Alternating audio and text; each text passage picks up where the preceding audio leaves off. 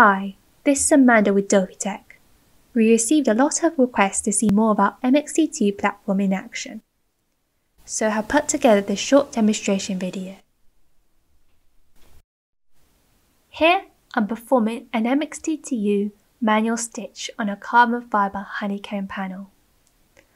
I am moving the two transducers on either side of the panel simultaneously, making sure they are aligned then collecting the data using a foot pedal.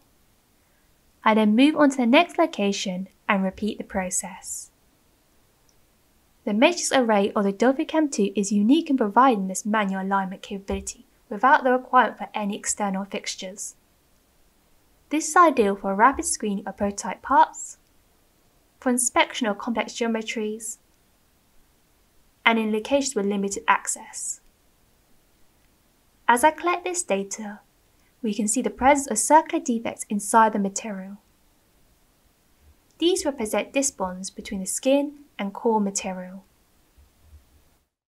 To find out more and see the complete results from this scan, please click on the link in the description.